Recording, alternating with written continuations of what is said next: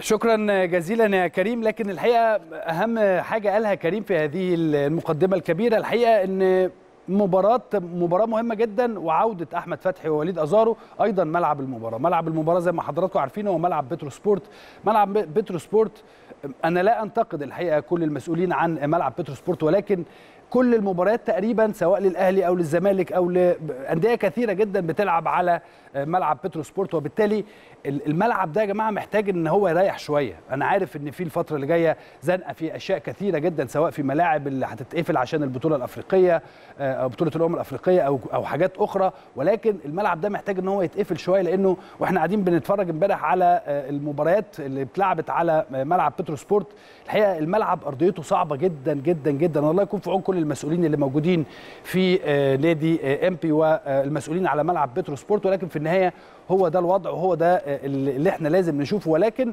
لازم نحط أرضية الملعب في الحسبان.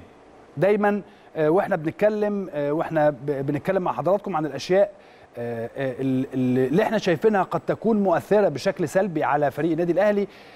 ده ما بنقولوش عشان يبقى في تبرير لأي شيء ولا حاجة كده ولا كده ولكن إحنا بنقول لحضراتكم إن أرضية الملعب هي أرضية سيئة. أنا آسف جدا إن أنا بقول هذا الكلام ولكن هذه الحقيقة. هذه هذه الأرضية هي أرضية ليست جيدة. ملعب نادي بترو سبورت ملعب رائع وكل شيء ولكن ضغط المباريات اللي عليه كثير جدا جدا خلال هذه الفترة. حضرتك لو عندك حتة نجيلة قدام بيتك وبتتمشى عليها رايح جاي بتبقى الأمور فيها بتلاقيها باظت بعد شهر ولا حاجة. فما بالك بقى مباريات وتمرين ومباريات فريق واثنين وثلاثه وأربعة بيلعبوا على ملعب بترو سبورت الله يكون في عون كل القائمين على ملعب بترو سبورت لكن في النهاية أنا متأكد إن شاء الله إن النادي الأهلي سيستطيع أن يتجاوز كل هذه الصعوبات.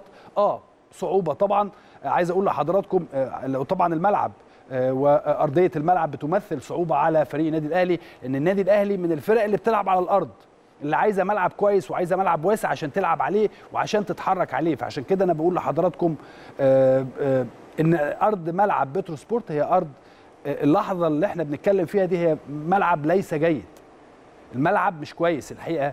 في هذه الفترة. معظم ملاعب مصر في هذه الفترة بتبقى مش جيدة ولكن إن شاء الله الشهر الجاي ولا الشهر اللي بعده تبقى الأمور جيدة. لأنه إحنا في النهاية بنتكلم في شيء في مصلحة البلد كلها. في قبل مباراة كأس الأمم الأفريقية يجب أن تكون كل الملاعب إن شاء الله إن شاء الله على قدر المسؤولية. إن شاء الله يعني. وبقى في الآخر يتم اختيار الملاعب اللي سيتم سواء التمرين عليها من الفرق اللي هتبقى موجودة في كل المجموعات الأربعة اللي هتبقى هنا في مصر أو ملاعب المباريات.